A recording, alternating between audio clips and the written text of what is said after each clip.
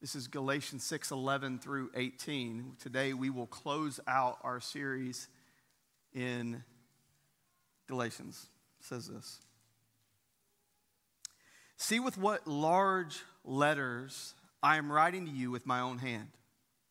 It is those who want to make a good showing in the flesh who would force you to be circumcised, and only in order that they may not be persecuted for the cross of Christ. For even those who are circumcised do not themselves keep the law, but they desire to have you circumcised that they may boast in your flesh. But far be it from me to boast except in the cross of our Lord Jesus Christ, by which the world has been crucified to me and I to the world. For neither circumcision counts for anything nor uncircumcision, but a new creation. And as for all who walk by this rule, peace and mercy be upon them and upon the Israel of God. From now on, let no one cause me trouble, for I bear on my body the marks of Jesus. The grace of our Lord Jesus Christ be with your spirit, brothers. Amen. This is the word of the Lord. Thanks be to God.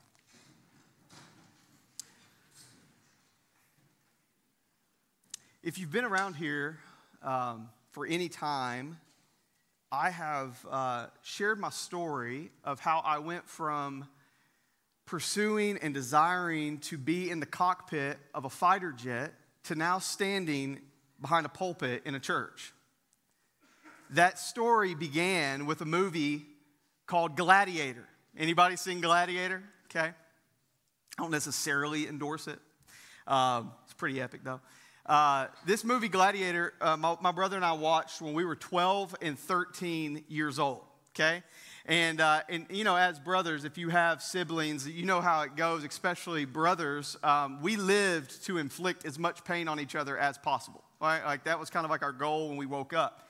And so, like any teenage boys would logically do after watching this movie, we decided to the next best thing was to uh, go outside in the front yard, grab some pipes and snow sleds, and go to war. And, uh, and so we found some cut pieces of PVC, and we went out in the, in the front yard with some circle snow sleds, and we went to battle. Um, after fighting for, with each other for a few minutes, we, uh, you know, uh, inflicting a little bit of pain on each other, I decided to bow out and go inside. My brother apparently didn't believe the emperor was yet pleased. And so, uh, as I was on my way in, he threw the PVC pipe in my direction, called out to me when he realized, oh, dang, he is, uh, he's in the path of this pipe. I turned and this PVC pipe. Now, give it a little, hold on, pause. My brother ended up, would go on to be a, uh, a college baseball player, a pitcher, okay? So, suffice it to say, he won the battle, all right? Um, PVC pipe hit me, uh, struck the side of my head. Uh, it, it, gave me a depressed skull fracture, cut the lining on my brain. And today, now, praise God, I'm mostly normal now. Um, today, I wear a scar on the side of my head, a mark of this moment a moment that I regret. I know he, he certainly regrets, but the reality is, each of us, maybe you've not been spared in your life, but odds are in a room like this, all of us have something that marks us, right? It's a rock that you caught in the side of the head from a sibling, it was a, a bike wreck, it's a skin knee, whatever it is, we all have things, there, there's these, these, these marks on us. As I was reading the end of the book of Galatians this week, this was what leapt off of the closing verses that Paul writes to this church. Paul would agree that we are all marked by something. Something has left its mark on us. Something has left an impression. Something has left an impact on us and those who know us, those around us. What are you marked by today? You see, here's why this matters. This morning, Paul is going to show us that you can actually tell a lot about what somebody worships based on the marks they bear. You can tell a lot about what someone loves, what someone goes after, what consumes someone's life based on the marks they bear. I want you to hold on to that. And so Paul closes out this book here in uh, chapter 6 and verse 11 with an interesting start to the passage. He says, See with what large letters I'm writing to you with my own hand. Now, that's important because as Paul would put down ink in the New Testament, it came typically from the hand of someone else. He would have a secretary or a scribe that, as he would dictate, they would write down the words that he said. If you remember Paul before his conversion, he was as his own uh, to his own um, uh, uh, as, his, as he would recall his own previous life, he was a Jew of Jews. He was a Pharisee of Pharisees. He was deeply schooled in the Hebrew text of the Old Testament, in the oral tradition, and in the writings of other famous Hebrew teachers and, and uh, Pharisaical teachers of the day. And so he, he was deeply schooled in Hebrew text, but the Gentile world that Paul was sent into, you remember he says that Jesus commissioned him, gave him the special task to be a light unto the Gentiles. And that world was largely Greek. And so typically, many commentators believe that Paul would employ the help of another scribe, someone schooled in that dialect, in that, in that, um, in that writing, in the writing of the day. And so he would, they would write down what he said. But not this time. Here at the end of the book, six chapters deep, in his closing arguments, he picks up the pen. And he says, Look with what large letters I write to you. Now, there's been people all over the board on this. Some people believe that these large letters are attached to uh, Paul's bad eyesight that stemmed from his physical ailment he re- references in Galatians chapter 4. You remember Paul talked about the thorn in the flesh in Second Corinthians, right? Maybe this is related. Maybe Paul has this uh, illness that is causing, remember I told you some, some people believe that, that he's got some illness that caused a. Um, his, his eyesight to deteriorate. And so maybe the large letters that he writes is the way that they're describing his bad handwriting, right? He's like, look at the bad handwriting I have for you. That's not what this is about. In fact, you can speculate, and many do, on what's causing the large letters, but they're missing the greater point. You see, the large letters that Paul wrote with was not because his eyesight was bad, it was because he was trying to make sure a point was heard. And at the closing of his letter, Paul is eh, this emphatic appeal that he's making, this great appeal, this plea for the Galatians is to get the gospel right. Man, look, for 12 weeks in this sermon series, that's been the call and, and, really the cry from this pulpit is that this church would know the gospel. Believe it or not, you go from one church to another and you may hear the gospel preached, and it is far from the truth of the gospel. Paul wants to make sure we don't miss the point.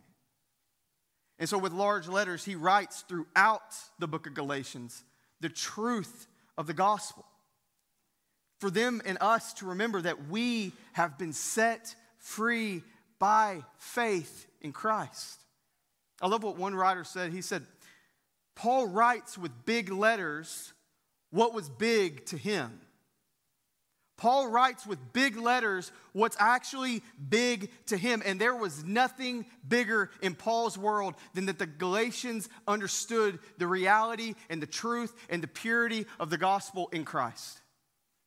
Paul wanted them to make sure that Jesus was the biggest thing in their life. Church, let me look at you for a second. What's the biggest thing in your life today? What's the biggest, loudest thing in your life? What do you think about the most? What do you spend the most time living into, giving to, serving? What's the biggest thing in your life? Paul wanted them to make sure, in his own words, that they would boast in nothing but the cross of Christ.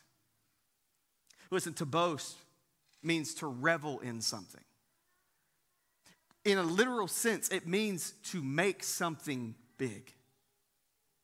And so, what Paul is saying here at the end of this book, and I don't, I'm going to make sure you don't miss this, is that as we leave this room and we step into workspaces and we go to our neighborhoods and we go to the grocery store and we sit around tables with our family and we sit behind closed doors alone, that we would right size the gospel in our own life. That Jesus would be an accurate size of importance in our life. And he does this by comparing the size that the Judaizers had made the gospel and what was big truly in their own life. And look what he says in verse 12. He says, It is those who make a good showing. He want to make a good showing in the flesh who would force you to be circumcised. And only in order that they would be, they may not be persecuted for the cross of Christ. For even those who are circumcised do not themselves keep the law, but they desire to have you circumcised that they may boast in your flesh. Paul says the biggest thing in the Judaizers' world was themselves.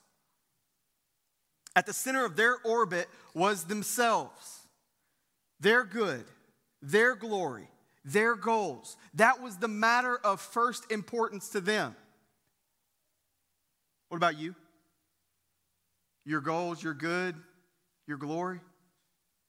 If you remember, the Galatians were a body of relatively new believers.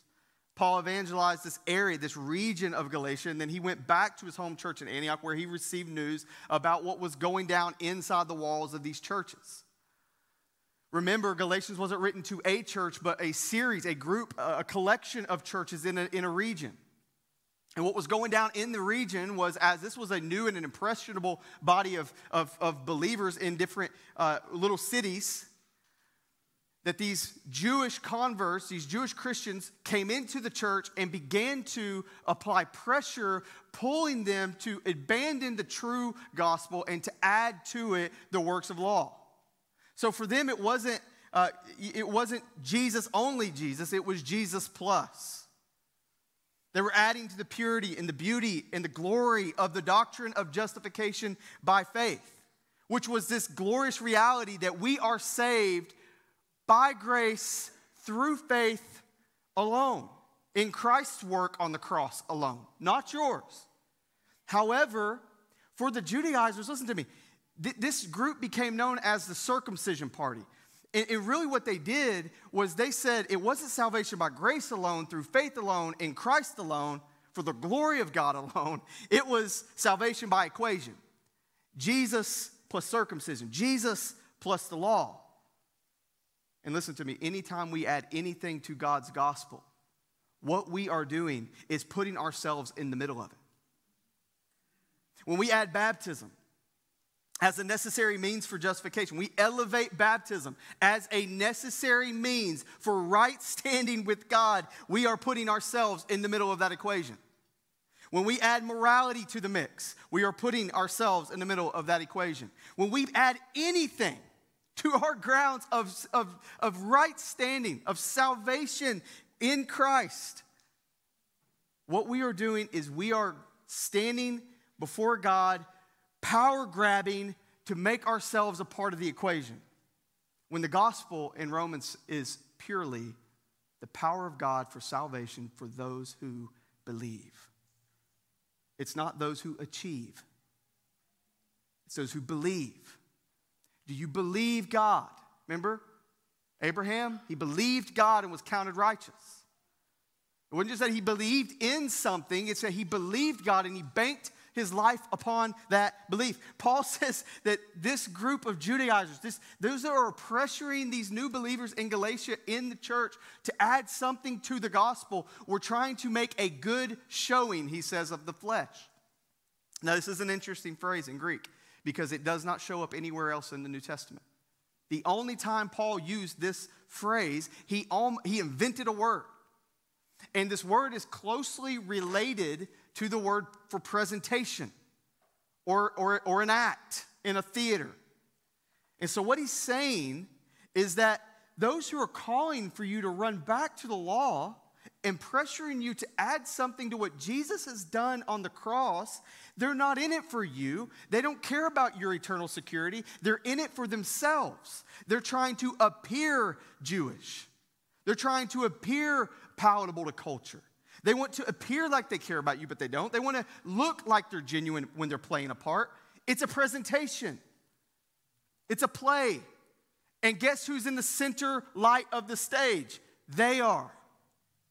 if, see, if they could just present numbers for circumcisions from the Galatians, they would be applauded by those who sell who, who, who, in the Jewish world who were trying to say that we have to keep the law in order to be right with God. Those who were turning up heat on the church in the first century. If they could just project something that was easily swallowed by the world around them, they would escape persecution for the cross of Christ. And what this actually was, was pressure for, for circumcision, which was really just a compromise to not to, to avoid confrontation. And so Paul wants us to see, he wants you to see this morning, as we close out this book, that when we seek the favor of man rather than faithfulness to God, we are boasting in the flesh. That's what we're doing. When we are more concerned with what the world thinks about us, about our message, about our faith, rather than our worship of God, our boast is in the flesh. What a word of warning, of warning for the church today. In these days, See, the church cannot try to make the gospel less offensive by reducing it down to something easily swallowed by culture. When we fear man more than God, we are boasting in the flesh. We cannot elevate the opinions of the world, the approval of society, of your friends, of your neighbors, of your coworkers, over our affection for Christ, our commitment to his word. You see, in these days, what, what Paul is calling us to is Christian courage. That's what we need. Right? We, we don't need a we don't need a cabinet. We need Christian courage. We need God's people, saints, to have a Bible and a backbone today. It's time for the church to see what the world is. Man, just look at it. Why are we trying to conform and camouflage in order to not be com- like confronted by it or uneasy in the, mi- in the midst of it? We should feel out of step. We should feel out of place. You look at the world today, it's broken. It's not happy. It's not, it's confused. It's not certain. But God's people know truth. God's people have hope. Don't bow to Babylon. Paul picks up the pen here at the end to call us to remember because of the gospel, we that are born again are not called to boast in the flesh. We've been set free from that. And look what he says. Verse 14. But far be it from me to boast in anything except the cross of the Lord Jesus Christ, by which the world has been crucified to me and I to the world. See that? For neither circumcision counts for anything nor uncircumcision. The only thing that counts is the reality that through the gospel, belief in Christ, we are a new creation. And as for all who walk by this rule, those who've placed faith in Christ, those who have believed upon a pure gospel and not tried to water it down, not tried to compromise, have not tried to cave for culture around us, peace and mercy be upon them and upon the Israel of God. From now on, let no one cause me trouble, for I bear on my body the marks of Christ. Paul says, You've been set free from boasting in your flesh. Church, this is true of you if you know Jesus. You've been set free from boasting in your flesh. And you've been set free to boast in Christ, to make him the biggest and most beautiful thing in your life. Make him the thing of most importance. Make him the thing that's most compelling as people look on you. Make him the loudest thing people see as they hear you. Paul says, But far be it from me to boast in anything but the cross. It's an important phrase. In the Greek, Paul uses a tool called a double negative, which is basically the strongest way to communicate things. He leaves no room for a gap, no room for a plausible other. There's no nothing else. It's as if he's saying, "But as for me, there is no way possible for me to boast in anything other than Jesus and his cross. Paul says nothing else is important, nothing else competes, nothing else rivals, nothing else compares. The cross was his greatest boast. That seems strange, doesn't it? Like, if you really think about it, it seems strange for anyone to boast in the cross. Because the cross itself, that is, there's all kinds of, of, of weird things for people to wear today. like, like uh, you know, culture changes quick, man. So does fashion, right? I mean, like, you see things that people wear, like, whoa, what is that? You know? Um, the cross around a neck of a Christian or tattooed on the arm of a believer is the strangest thing in itself. The cross was the most barbaric and cruel form of capital punishment in the ancient world. It was so cruel, in fact, that Romans would not even sentence their own citizens to such a death. The cross was cruel, the cross was barbaric. Yet Paul says he boasts in it. How? Why? because it's not because of the cross alone, because the cross on the cross alone, many of the world's worst criminals in the ancient world were killed on a cross. In fact, on two other crosses besides beside Jesus were thieves criminals standing punishment. So it's not the cross alone that Paul boasts in, but the one who the cross held. See, the cross was his boast because Jesus was Paul's Lord. And on the cross, Jesus took the penalty for Paul's sin. This is why he could boast. This is why the cross was so big to him, because he looked at the cross and he understood what happened there. That on the cross, Jesus took on himself the wrath of God that stood against his sin, that was rightly coming against him. And what Jesus did on the cross was turn God's wrath into delight. Look at me. If you're in Christ, the same is true for you. This is why the scripture can say, There is therefore no con- condemnation coming for you. No condemnation for those who are in Christ. There's not a day coming where you're going to see the Lord, if you've placed faith in Jesus and he's got some like harbored up animosity towards you, he wrung it out on his son. Jesus took all of the wrath and the anger that was coming against sin and he took the full cup of it. That's what's so significant about communion. When we lift the cup corporately and we says we say remember his his body that was broken and his blood that was poured out for you.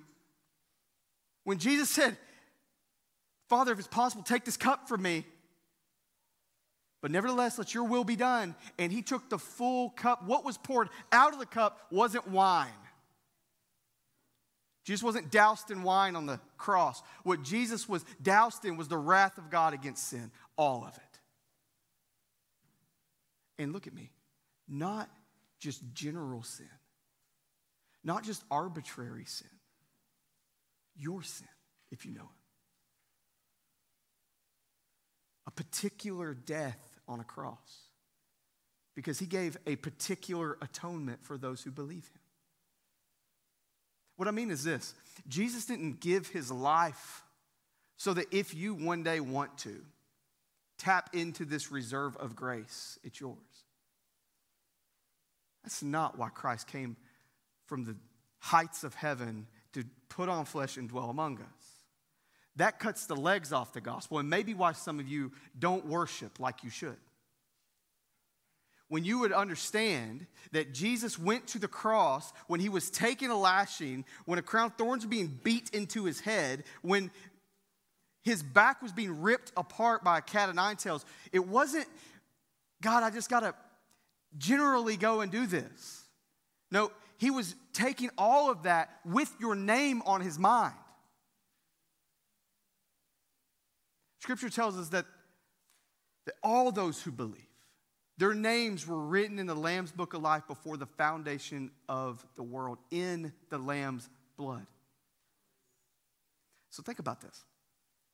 This it means that as Jesus is on the cross and he's sliding up and down the wooden, rugged, hewn beam, his back exposed, people mocking him, spitting on him. And mind you, he's sinless. He's never sinned once. He was able to take the nails, he was able to take the beating, he was able to take the punishment because he had to secure the salvation of you. This is why the cross was big to Paul. It was everything to Paul. It was everything to because Paul understood that what happened at the cross changed everything about his life. He did no day in his life in the future, if he was to go into a town and share the gospel and lose his life doing it, you know what the worst thing would yield for him? The greatest thing imaginable. Where he would step into glory and he would know Christ as Lord. And all that was coming for him was delight and approval. And if you know Jesus, that's what's coming for you. Paul says, through the cross, the world had been crucified to me, and I to the world. You see, because of the cross, the world has died to us if you know Jesus. And we have died to the world. So why, why can we boast not in the flesh any longer? Why doesn't it, why isn't it our, our why isn't the magnetic force of our life to, to boast in our flesh, but to boast in Christ? Why? Because the world doesn't hold the same place of value for you if you're in Jesus. Now, that, listen to me. That doesn't mean it sometimes doesn't feel like we don't, we don't struggle with that right? Like all, all the time, we have this, we have to continue to, to correct. Because uh, there's times in our lives, it's like, man, to, to satisfy my flesh in this moment feels enticing. It feels desirable. It feels right. That's what Paul talked about in Romans 7. You can go back and read that. Where he talks about this, this war that's waging in his, in his members of his body, right? Because this side of heaven will always war against the flesh. But if you know Jesus, you've been given a new nature. The scripture says you've been made new. You are a new creation. Look at this 2 Corinthians 5 17. Therefore, if anyone is in Christ, he is a new creation. The old has passed away. Behold, the new has come. You see, what that means is before Christ, we were enslaved to the world. What it valued, we valued. Where it still steered our hearts, we went. Its opinions were our convictions. Its morals and ethics were our, uh, were our standards. It mastered our mind. But through the cross, we were redeemed. United with Christ in his death, dying to the world, and being raised in a newness of life. And so, as new creations, look at me, we have new convictions. As new creations, you should have a new passion. As new creations, you should have new values. And with a new value comes a new boast. There's something bigger in your life now than yourself. The world no longer holds our hearts, and its cares do not crush us anymore because it does not own us anymore. Politics, our election cycle, it's important, absolutely important. But it does not get the final word because no matter who's put in an Oval Office, Jesus is on his throne. Amen? Right, listen, the markets of our world. Everybody's dialed into what's happening with the markets. When can I afford to buy a house again? When can I refi this seven point whatever interest rate, right? Like it's, uh, it's got so many people. Ter- when can I retire? Will my kids ever be able to afford anything of their own? Listen, our treasure is not in a market, it's in heaven, and our security is in Christ. Our world says your corporate dreams, your ambitions, what kind of name you're making for yourself is the thing of most importance. But our hope is not found there in a corporate corner office suite, but in Christ alone. We boast in Christ, in Christ alone, if you know Jesus. Our lives are now about Jesus. Our jobs, look at me they're about Jesus. Your kids are to be raised to honor Jesus. Your finances are given to you for the cause of Christ. They're for Jesus. He is the boast of our life if you're in Jesus. This is what Paul's saying. Don't be pulled back to making your life about yourself. What a sad, miserable existence that would be if everybody at the end of your life said, Look how great they were. Look how much stuff they owned. Look at the cool office they got to spend more than they wanted to in. No, that, that, is, that would be a travesty. But what if, as new creations who know Jesus, new creations who know Jesus, we said, no. God has given me a platform, God has given me a vocation, God has given me a workspace. God has given me a neighborhood. God has given me a mission field. God has given me kids. God has given me a spouse. God has given me finance. God has given me amazing wealth. For me, no. For Christ. And we lived our life leveraging it like we actually believe it. Paul says, live your life marked by Christ. Marked by Christ. So let me end this as I began. What about you today? What is the boast of your life? What's the boast of your life? What's the biggest and loudest thing? You want to know? Ask your kids. I, am scared to ask my daughter. Like, Lottie, what am I about? Tennessee football. What am I about? What would your kids say? Honest eval. What would your kids say? Man, dad is an amazing provider. Dad has an amazing golf swing.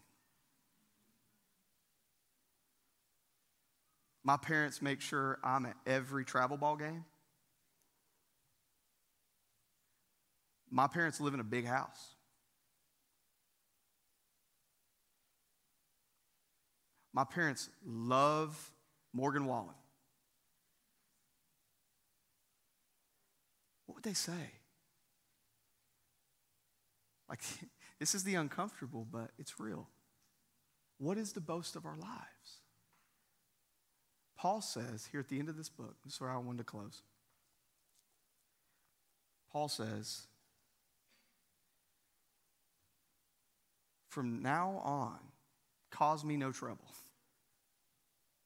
For I bear on my body the marks of Jesus. It's as if Paul says here at the end of the book. It's my final appeal to you guys. I've said what I've said. Now you got to do something with it. I've said what I've said. Now cause me no trouble. Because Paul says, with integrity, I've not just told you what's true, I've shown you what's true. I've not just told you how to live, I've showed you how to live. You know how, you know how he can say this? Because Paul could pull his shirt up and show them the marks on his back. He can say, You see those lashes I got from being flogged for preaching the gospel? I'm marked by Christ. You see that wound on my knee? That's where I was run, run out of town. I slipped and hit a rock. I was being chased out for preaching the gospel. You see those marks on my wrist? That's where I was chained in that Philippian jail, in that prison. See, Paul's words were not just marked, his body was marked by Christ and for Christ. The word marks in this passage, he says, For I bear on my body the marks of Christ. The word marks comes from this word stigmata or star, or, or stars, stars, scars. And so he had the authority to say what he said and do what he did because his body bore the, the scars. His body told a story of sacrifice, of commitment. In a real way, let me leave this to you. In a real way, Paul's body could boast about his Lord. I wonder if yours could. Maybe you've had no reason to catch a stone in the head for your beliefs. Praise God. although we have brothers and sisters, I don't want to always remind you in places around the world this morning who do. But could you point to the calluses on your hands from serving? Could you point to marks in your bank account from giving faithfully? Could, you, could your family point out the marks of Christ in your speech? Could your wife in your countenance? Are you marked by Christ today? Or is the only marks your life bears comfort and convenience? Selfishness. What is your boast today? You will know your boast by the marks that you bear. You will know your boast. But we will not boast in the Lord until we bow before his cross. Until we bow before his grace. Maybe you're here today and you're looking, you're looking to Jesus' work for salvation alone. Right? You're, you are looking to Jesus' work for salvation alone. You truly know him. Maybe by the work of the Spirit, and you ask God, God, would you help my life to bear the marks that this is true? God, would you help my marriage bear those marks? Would you help my speech bear those marks? Would you help my thought life bear out that mark? Would you help my commitment to the bride of Christ bear those marks? Would you help my life be marked that it, the loudest and largest thing about me be Jesus? Maybe you're here this morning and you realize I bear no marks because I boast in myself If you want to know what it looks like to love Christ, to know Him, and make Him big, I'd love to talk to you about that. There's nothing fancy you have to do. There's no prayer I'm going to ask you to pray that's going to do that. It's, no, it's not a spell. It is simply faith in Jesus alone. We pray for us. Father, I love you. God, I'm so thankful for this book. I'm thankful for how it challenges us, God. I'm thankful for how it grows us, how it stretches us, what it calls us to, and what it helps us to see. Lord, my faith has been challenged and strengthened through this letter. God, I pray that my roots in doctrine and in the truth of the gospel would grow deeper still, God. That I would believe that my, my source of security, the, the reason that I am right with God, is not because of what Matt does for Jesus, but what Jesus did for Matt. What Christ has done on a cross. His body brutally beaten, crucified, and died, laid in a tomb, and three days later, resurrecting and ascending to the right hand of the Father. That is my source of security. Jesus' perfection, Jesus' work, Jesus' death, and Jesus' life. Lord God, I pray if there's someone in this room that doesn't know you, God, or they've been playing the game, they've been pretending, but their life bears no marks, Lord, would you change us? God, would you shape us? God, would you shake us out of comfort, shake us out of convenience, shake us out of trying to be uh, just as close to camouflage to culture as possible so that we don't have to have hard conversations or, or look different than our friend groups or be pushed out of social circles. God, that we would be a people compelled by the cross, that the cross would be our boast. Lord, would you do that in us and for us and through us for the sake of your Son? God, I pray that you would save today, that you would grow us, and that you would shake us for your glory in this part of the county and beyond. Lord, help us to, to now stand and to worship in a moment in light of everything we've heard in these six beautiful chapters. God, will we sing like a people who believe that the cross is big? And we leave here acting as though Jesus is actually Lord. God, we love you. We thank you. In your name we pray.